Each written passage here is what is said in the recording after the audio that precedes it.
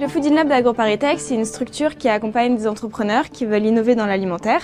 Euh, on les accompagne de deux manières. La première, c'est en leur mettant à disposition des équipements, donc une cuisine expérimentale, des laboratoires et tout un banc d'équipements professionnels pour avancer dans leurs tests. Et la deuxième manière de les accompagner, c'est de les mettre en relation avec tout l'écosystème d'AgroParisTech. Donc, euh, d'une part les étudiants, avec des projets notamment euh, étudiants, et d'autre part avec euh, tous les experts qu'on peut trouver dans les unités de recherche d'AgroParisTech. Typiquement ici, on est dans une cuisine expérimentale. C'est un des lieux dans lesquels les startups peuvent venir travailler leurs leurs produits, faire leur euh, recherche et développement.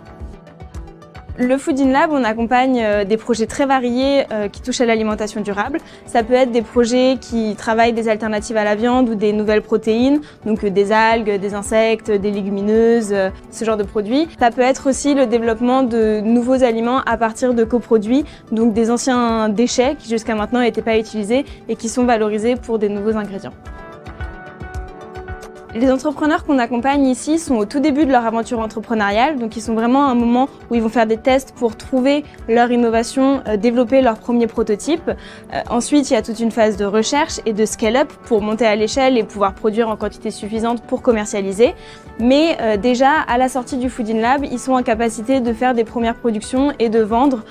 Et puis les réseaux de distribution dépendront des produits. Ça peut être en e-commerce, ça peut être dans de la grande distrib, ça peut être dans des magasins spécialisés, en B2B, etc. Aujourd'hui, l'avantage du Food in Lab par rapport à d'autres cuisines expérimentales qu'on peut trouver euh, dans Paris par exemple, c'est euh, d'être connecté à tout l'écosystème d'AgroParisTech et de pouvoir solliciter ses expertises. Et maintenant qu'on est implanté sur le plateau de Saclay, c'est encore plus de réseaux de partenaires et d'expertises qui peuvent solliciter facilement.